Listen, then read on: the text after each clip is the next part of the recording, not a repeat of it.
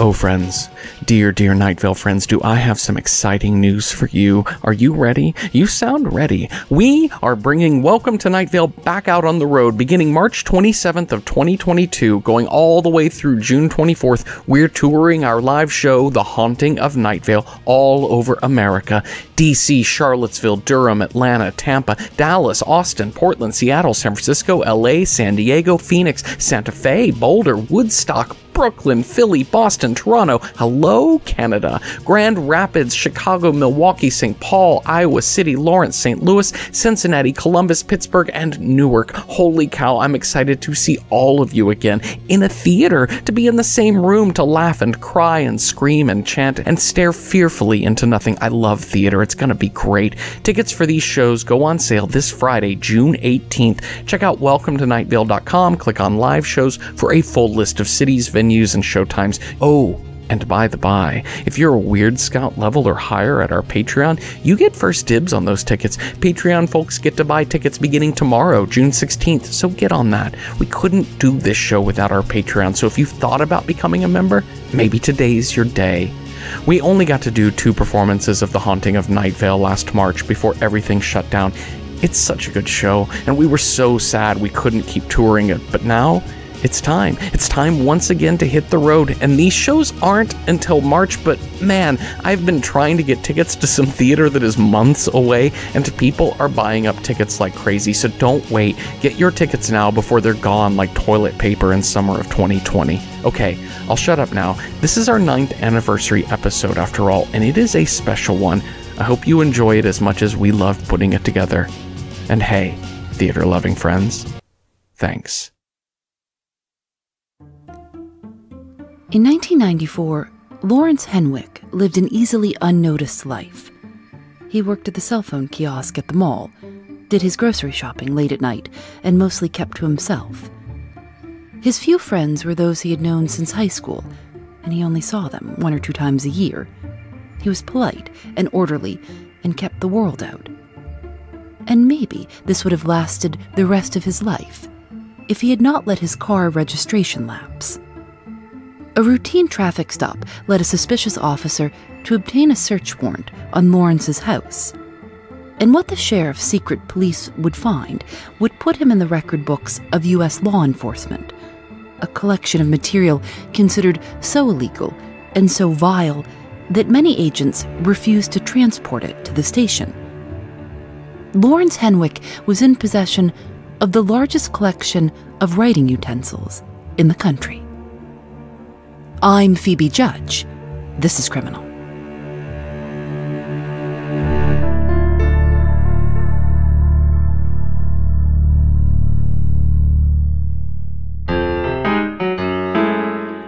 Listeners, something has changed for our quiet little town. It seems that the rest of the country has become aware of our existence. I don't know what this means for us. We are usually such private people, content with our corner of the world. I hope this doesn't affect real estate values or property taxes and the like, but then, maybe tourism would help boost our economy a bit. I suppose we shall just have to wait and see. This is the Sporkful. It's not for foodies, it's for eaters. I'm Dan Pashman. Each week on our show, we obsess about food to learn more about people. When we talk about pizza, we don't talk enough about the crust. There's thin crust, cheese stuffed crust, thick crust. But no matter what crust you prefer, it's not a pizza without it, right? Maybe not. On today's show, we talk with Rico Goldblum, owner of Big Rico's Pizza in Night Vale. As their saying goes, no one does a slice like Big Rico. No one. And that's probably true, because all of Rico's pizzas are crust free. How do you eat that, let alone cook it? Time to find out. Hey, your friend, host Steve Carlsberg here, and it's time for Dotted Lines, the only podcast to give you the truth behind Night Vale's lies. Today, I have my daughter Janice on to talk about the total lack of wheelchair accessibility at the Mudstone Abyss. Lee Marvin was many things. A decorated Marine whose medals included the Purple Heart, who was discharged as a private after being demoted for troublemaking. a Western actor whose work in Cat Ballou earned him an Academy Award, and a man who turned down a starring role in Jaws because he thought it would make him look silly. A veteran who publicly opposed the Vietnam War, and the defendant in the case of Marvin versus Marvin, which established the concept of palimony, the financial support of a former partner to whom a person was never married. But least known of all is Lee Marvin's later life, after he moved to a town called Night Vale. A strange little desert town, almost unknown to the rest of the world, in which Lee Marvin would turn 30. And then turn 30 again, over and over. Every single day a birthday. Time would cease to move for Lee Marvin. To be honest, even I find this story difficult to comprehend. Join us, won't you, for the story of Lee Marvin in Night Vale. Hello and welcome to Oh No, Ross and Carrie, the show where we don't just report on fringe science, spirituality, and claims of the paranormal, but take part ourselves. Yep, when they make the claims, we show up so you don't have to. I'm Carrie Poppy. And I'm Ross Blotcher, and this week, Oh my god, this is so crazy. Yes. This is a wild one. okay, so this week we checked out the Joyful Church of the Smiling God, and it was. I mean, well, we are already smiling, We're- just describing it. We're definitely smiling. Very painful. In fact, it won't stop, and I think it's permanent, and I think it's permanent. and it's it is it- painful. Oh, it's Ted. Who is Ted? It's technology. Entertainment. Uh, it's the TED Radio Hour from NPR. I'm Manoush Zomorodi. Today on the show, wheat and wheat byproducts. Can they be trusted? This episode of Comedy Bang Bang is brought to you by Yearn.com. Have you ever yearned? You know what I mean? What a pain it is to yearn for things. Sitting by the window, looking at the sky, feeling specific emptiness. Ah! Every one of us does it all day, every day, and it leaves little time to eat or sleep or make long running, incredibly successful, uh, critically acclaimed comedy podcasts. Well, now there is yearn.com. You tell us what you're yearning for, and one of our professional yearners will yearn for it on your behalf. Yearn.com. Yearn better. Yearn now. All right, back to the show. We are here with Lee Marvin, star of the new HBO sitcom Howard's End. Brothers, for years, my brother in law was pretty mean to me. He works at the local community radio station and he would tell lies about me from his position there. Oof. Telling his listeners, for instance, that my scones lack salt and are tasteless, which is ridiculous. Uh, I am an excellent scone baker. Recently, what everybody feels like they're good at scones. Anybody who's ever made scones, I feel like feels like they're good at scones, right? Well, it's hard to make. If you can make them just to begin with, it's already an achievement. recently we have reached a point of understanding and are now quite friendly. Sometimes, however, I feel like his niceness can just be as aggressive. Uh, sorry, can be just as aggressive as his former meanness. He still talks about me on the radio and he shouts compliments about me to the government agents tasked with watching my house. It's mm-hmm. overly friendly and it makes both me and the government agents feel uncomfortable. Oh. How can I help him find a balance between his former malice and his current well intentioned but overly friendly behavior? What do you think, Trev?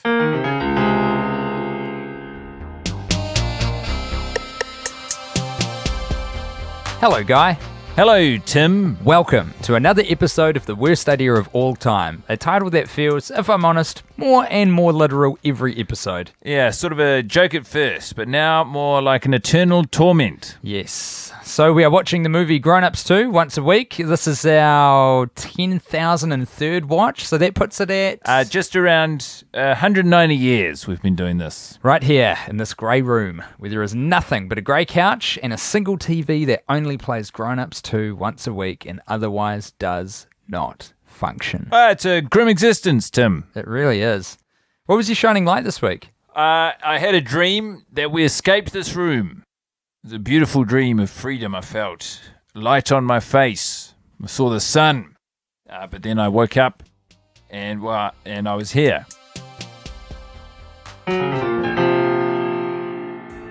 Well, it seems that our existence is causing something of an uproar for the rest of the country. I'm not clear why. We are just one small town, ordinary in most ways. We are Americans like you, unless you are not American, in which case, unlike you. Surely this clamor and outcry is unnecessary for a town as tiny as ours. But what do I know of the world? Honestly, very little. Hi, I'm Gabby Dunn, and this is Bad with Money.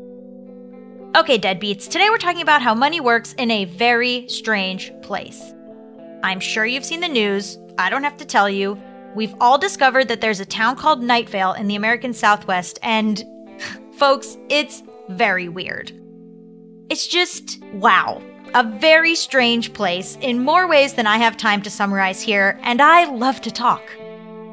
It might not surprise you to learn that my first thought upon hearing about Nightvale was, huh, how does money work in a place where, until recently, time didn't even work?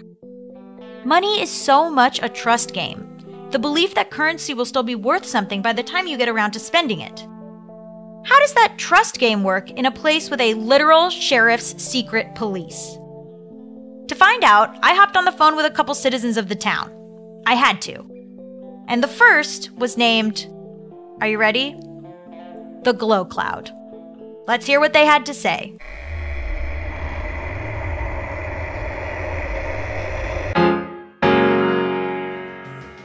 Today on the pod, the discovery of a town called Nightvale within the US borders in which every known law of physics and metaphysics is broken.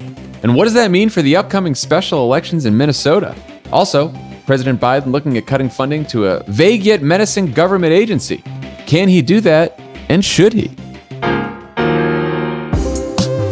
This is Underunderstood. Hey everyone. Hello. Hello. Hey, Adrian. What do you all know about the town of Nightvale? The town of Nightvale. You know, I think I know kind of everything. Mm-hmm. Like I just woke up recently and the knowledge was just in my mind. And I knew literally everything there is to know about Nightvale. And everything about the town is impossible, but my knowledge of Nightvale is absolute and involute.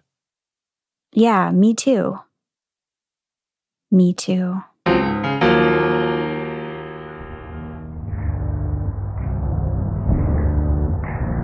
Welcome to the Dark Owl Podcast. I'm Michelle Nguyen, and you are definitely not cool enough to listen to my music opinions.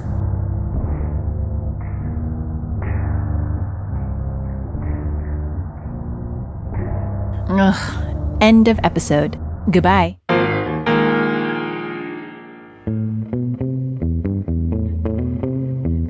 This is The Allusionist, in which I, Helen Zaltzman, try to find language on a map. Mm-mm-mm. There it is, up there at the top, right next to the Great Lakes. This episode is about Michigan.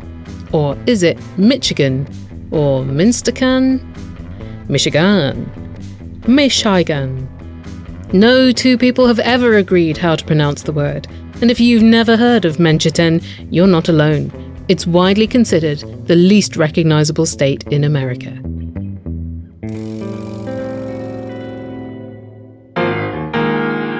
All right, so the guy sees a dark planet lit by no sun.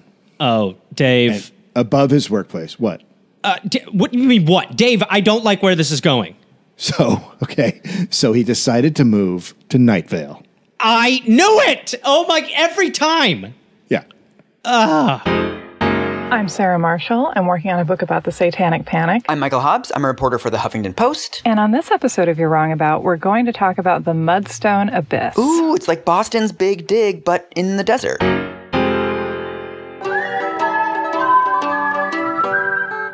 All right, Sarah, should we get to our listener mail? Yes, our first email's from Cecil Gershwin Palmer. Cecil says, "Hi, Purrrcast. Hi. My cat Khoshekh, pronounced pronounced Khoshekh, by the way. Oh, okay. And I listen to your show all the time. He doesn't photograph well, but here's the best picture I own.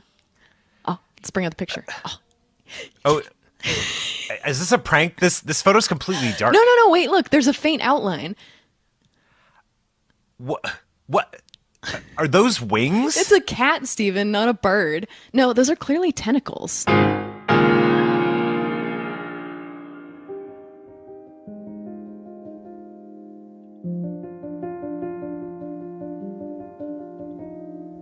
Everyone has a blind spot.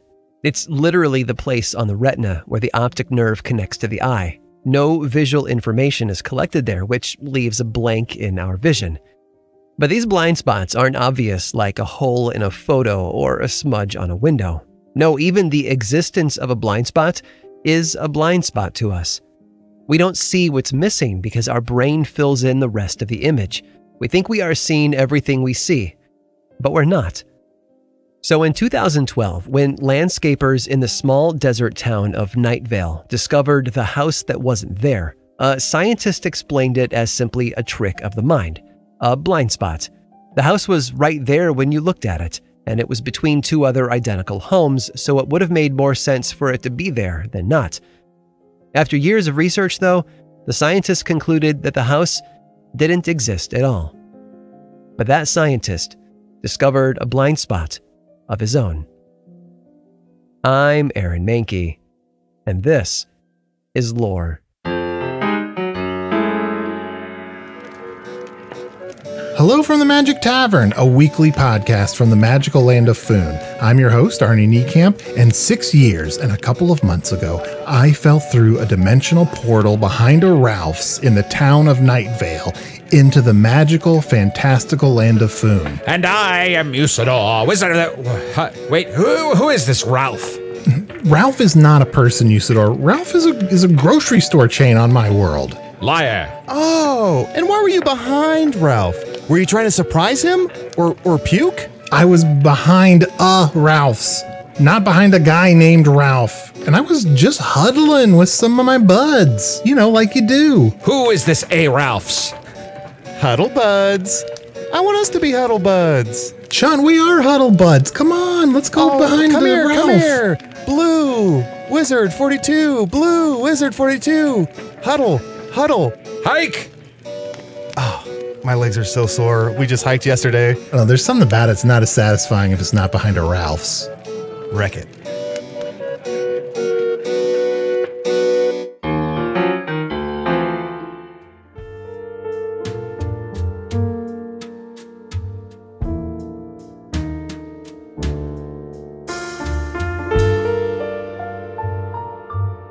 Welcome to Whatever Happened to Pizza at McDonald's, the investigative journalism program, or IJP, where I ask the question, Whatever happened to the pizza at McDonald's? I'm your host, Brian Thompson. Many of you have written in to inform me that there is a McDonald's in the town of Nightvale. This McDonald's does not serve pizza, but it does have a hole in the back that they call the pizza hole. It is a small hole in the wall near the storeroom, and customers are encouraged to crawl into the pizza hole. No customer has ever returned from such a trip into said hole. I knew I had to give this McDonald's location a call.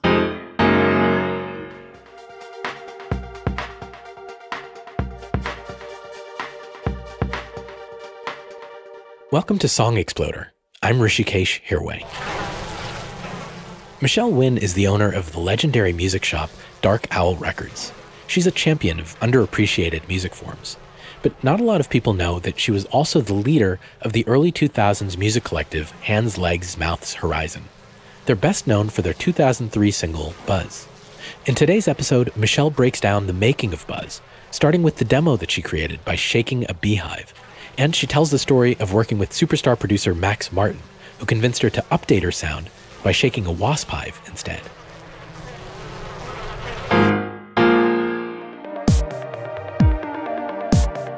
This is Maintenance Phase, the podcast that turns snakes back into wheat and wheat byproducts. Aubrey, I just want to eat a normal loaf of bread again.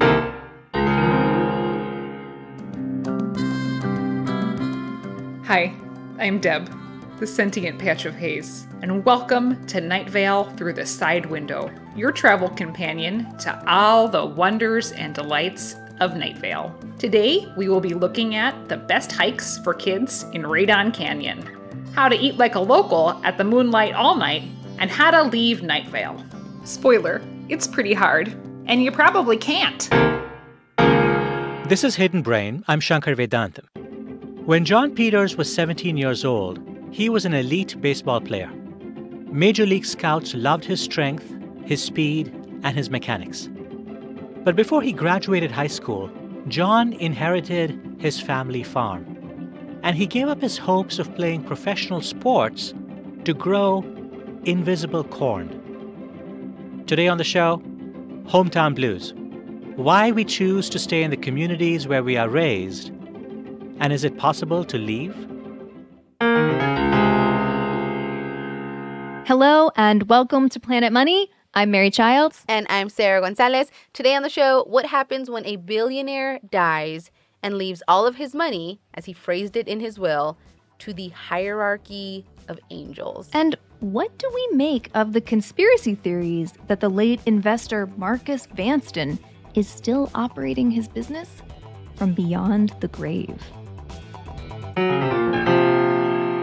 This is 99% Invisible. I'm Roman Mars. If you were a resident of the small desert town of Nightvale in the last 10 years, you probably heard radio commercials that went like this. Listeners, are you lost? Don't know where to turn? Might I recommend the Brownstone Spire? Do you need cash? Cast your eyes to the Brownstone Spire. The Brownstone Spire. It's a real structure, but no one knew what the ads were selling or who was paying for them to play multiple times a day. We were inspired by crystals. You know how crystals have a voice, but not when you can hear, just a resonance that speaks to you, up through your bones, into your viscera, and then overtakes your soul. That was the impetus for our marketing campaign, and it's been hugely successful. That's Missy Wilkes. She lives in Night Vale. She's also the director of community outreach for Wendy's. And so it goes. The world is talking about us now. After all these years, we have taken our place in the conversation. Well, I suppose it is nice to be talked about, now and then. But I don't think we should get used to it. Surely they'll move on once some new headline distracts. A plane crash, or blight, or the visiting king of a galactic civilization. These things come, and these things go. But if you are a new listener, I welcome you. You are all welcome here. Good night, Night Vale. Good night.